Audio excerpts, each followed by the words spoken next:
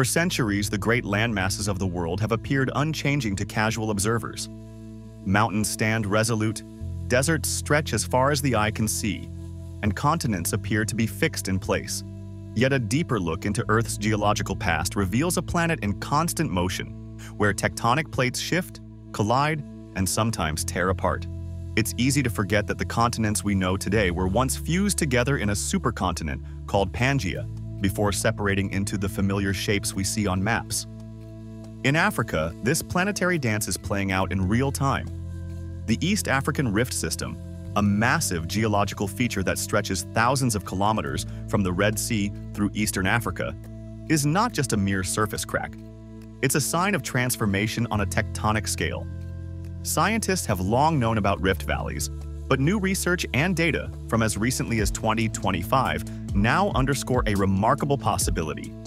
Eventually, a new ocean may form, splitting the continent into separate land masses. To understand why Africa might eventually be split into two distinct landmasses, we first need to understand how tectonic plates work.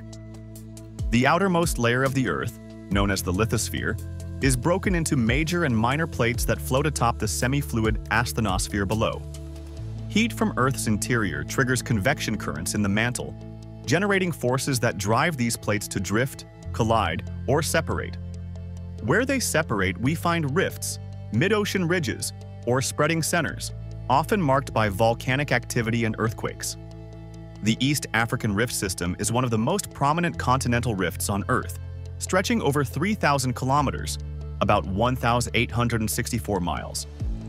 This rift is essentially a system of geological cracks where the African plate is slowly splitting into two. The Nubian plate, which comprises most of the African continent, and the Somali plate, which includes the Horn of Africa region. The boundary between these two plates is where the crust is thinning, just like bread dough stretched so thin that holes begin to appear.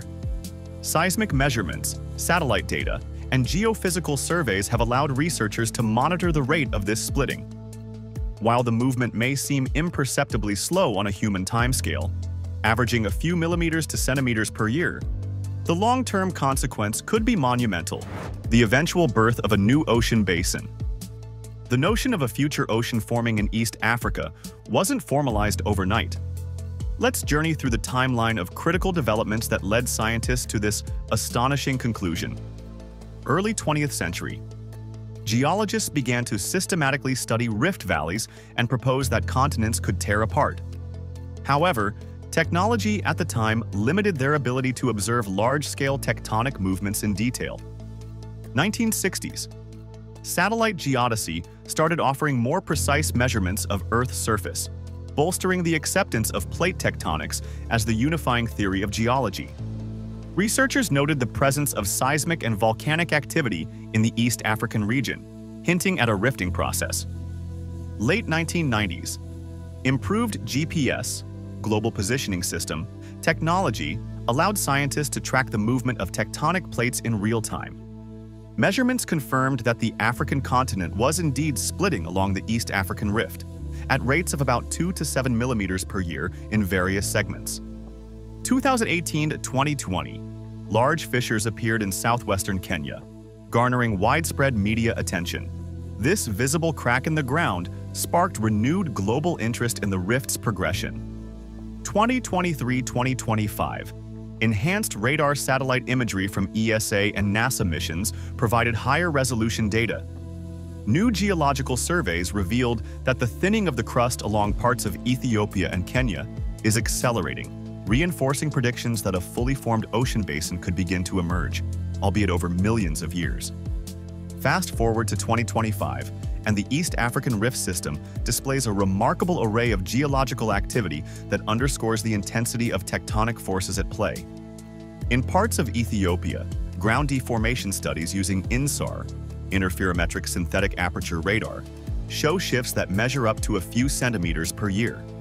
Concurrently, localized volcanic activity in regions like the Afar Depression provides a dramatic visual clue to the ongoing processes beneath the crust. In Kenya's Rift Valley, new crack formations and frequent seismic swarms have captured the attention of both the public and scientific communities.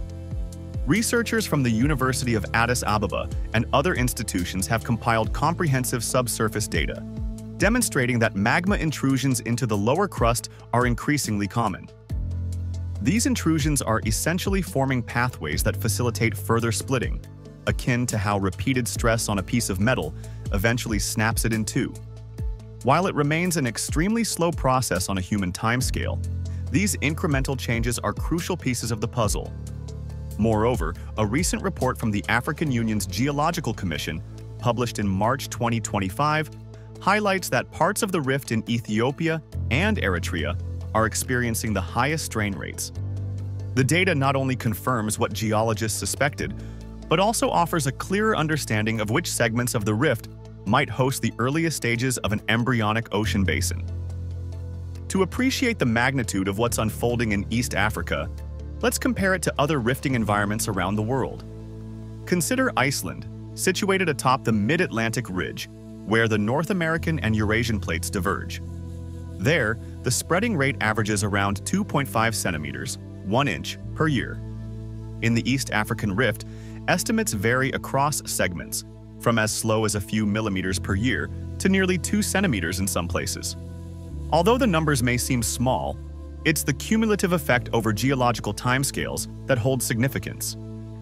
In places like the Red Sea and the Gulf of Aden, both of which are younger ocean basins formed by rifting, the rate of separation is generally faster, about 1 to 2 centimeters per year.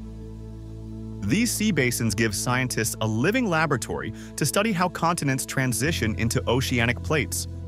Comparatively, the East African Rift is at an earlier stage, but the fundamental processes are the same.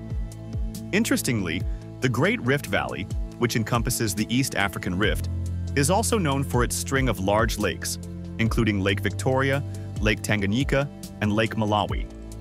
The presence of these deep lakes signals that water is already collecting in rift-generated depressions. While it may take millions of years for a fully fledged ocean to form, the lakes serve as miniature examples of how the Earth's crust responds to rifting. As the rift widens, it is believed that seawater from either the Red Sea or the Indian Ocean will eventually flood into these low-lying areas, forming a new ocean basin over time. While these rifting processes are fascinating from a scientific standpoint, they come with a host of practical challenges for the people who live in East Africa. Tens of millions of individuals inhabit regions that are seismically active. Although high-magnitude earthquakes in the region are not as common as along subduction zones, the numerous moderate quakes and rift-related fissures can cause infrastructure damage. The sudden appearance of large cracks in roads and farmland in Kenya during 2018 and again in 2022 disrupted local communities, highlighting the immediate human implications. In addition, the ongoing thinning of the crust can lead to increased volcanic activity, areas near active or dormant volcanoes face the risk of lava flows, ashfall, and hazardous gases. The 2025 updates from the East African Volcanic Activity Monitoring Project indicate a rise in minor volcanic eruptions in the Afar Depression of Ethiopia. Though these eruptions are relatively small compared to cataclysmic eruptions elsewhere, they can still disrupt air travel, agriculture, and day-to-day -day life. Water resources are another turning point. The formation of deep fissures can reroute groundwater systems, impacting wells and springs that local communities rely on. As scientists project greater rift activity in coming decades, policymakers in East Africa are increasingly focused on infrastructure planning, emergency preparedness, and water management strategies to mitigate the risks that accompany the slow birth of a new ocean. From a geological perspective, the East African Rift System offers a spectacular opportunity to study continental breakup in real time. Scientists across the globe consider this region a natural laboratory, enabling direct observation of phenomena that shaped ancient supercontinents and ocean basins. Yet there is more to this story than just geology. Economically, the rifting can have complex impacts. On one hand, volcanic soils near rift zones are generally fertile, supporting agriculture in regions like the Ethiopian highlands and parts of Kenya. The development of geothermal energy is also gaining momentum in places like the Olkaria geothermal field in Kenya. where the rift's heat source provides a sustainable energy option.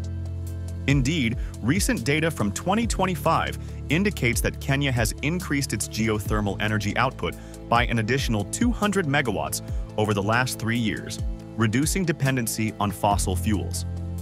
On the other hand, continued fracturing could hamper the development of roads, railways, and other critical infrastructure, especially if cracks form suddenly. Environmentally, new ecosystems could eventually form in flooded rift basins, creating habitats for various species. However, these transitions could also displace local flora and fauna. Conservationists highlight that any drastic changes to water flow and terrain could destabilize ecosystems not just in the rift itself, but in a ripple effect across the region. Balancing economic opportunities, like mining for valuable minerals exposed by tectonic activity, and environmental stewardship will remain a central challenge as rifting progresses. How does a rift transform from an inland valley to a full-fledged ocean? The process can be broken down into a few key stages. First, mantle plumes, or hotspots, weaken the lithosphere from below, causing it to bulge and fracture. This explains why regions like the Afar Depression, near the junction of three tectonic plates, experience intense volcanic and seismic activity. As the crust stretches and sinks, faults form, and the area between them subsides, creating elongated valleys, such as those seen in East Africa. Next, magma intrusions widen these fractures over time, and the valley floors may sink below sea level. In East Africa, many rift segments are still above sea level, but a few areas, like the Danakil Depression, already lie below it. According to a 2025 review in the Journal of African Geosciences, the rate of subsidence in some sections of the rift has doubled over the past two decades. Eventually, if the Rift Valley connects to a nearby ocean, seawater can flood into the basin, giving birth to a new ocean. Over millions of years, the rift edges continue to diverge, thickening the oceanic crust in the middle and definitively separating the new ocean from the original continent. In essence, the East African Rift is in the earlier stages of this multi-step transformation, providing modern-day scientists with a glimpse into the same processes that once shaped the Atlantic Ocean, the Red Sea, and beyond. One of the most important developments in recent years is the expansion of advanced remote sensing projects that gather data on East Africa's tectonic shifts, the year 2025 has seen the launch of new satellites equipped with next-generation radar and optical sensors capable of detecting minute changes in the Earth's surface. These satellites, operated by international collaborations involving agencies from Africa, Europe, and North America, produce near real-time data on fault line activity, crustal deformation, and volcanic emissions. Preliminary results indicate that certain segments of the rift, especially in northern Kenya and southern Ethiopia, are widening at slightly accelerated rates compared to measurements from the early 2010s. This acceleration is still within a range of millimeters per year, but consistent detection of incremental speedups suggests that local conditions, such as magma availability, fault line geometry, and regional stress distribution, can vary significantly. Moreover, new geochemical analyses of volcanic rocks along the rift margins show a higher concentration of specific trace elements, hinting at deeper magma sources feeding into the rift. In a recent regional forum held by the Intergovernmental Authority on Development, IGAD, policymakers reviewed the updated geological data and discussed strategic measures for infrastructure resilience and sustainable development. As of 2025, the consensus among geologists remains that while the final separation of Africa into two continents and the formation of a new ocean is still far in the future, tens of millions of years, these new findings emphasize the dynamic and ongoing nature of continental rifting in East Africa. What lies ahead for Africa as it slowly prepares for a seismic transformation that could redefine its geography? In geological terms, it's only a matter of time, albeit millions of years, before the Somali plate drifts far enough to allow ocean water to flood the rift zone. When that happens, Africa will effectively be split into two distinct landmasses, and a brand new ocean will be added to our world map. This prospect, while almost unfathomable in a human lifetime, underscores the relentless power of plate tectonics. For the people who call East Africa home, the rifting process presents a future full of both uncertainties and opportunities. Advances in satellite monitoring and geological surveys enable better hazard assessments and infrastructural planning. National and regional bodies can use these insights to build more resilient communities, invest in geothermal energy, and manage water resources more effectively. At the same time, there is a responsibility to protect and study unique ecosystems forming around the rift's lakes, volcanic fields, and emerging landscapes. Ultimately, the story of a new ocean forming in Africa encapsulates our planet's long history of constant change. While human history spans mere thousands of years, Earth's geological saga unfolds over eons. By understanding these processes better, we not only unravel the mysteries of our planet's past, but also prepare to adapt for the future. The East African Rift is a vivid reminder that no continent, no landscape, is permanent. Instead, we inhabit a world in perpetual motion, shaped and reshaped by the titanic forces beneath our feet.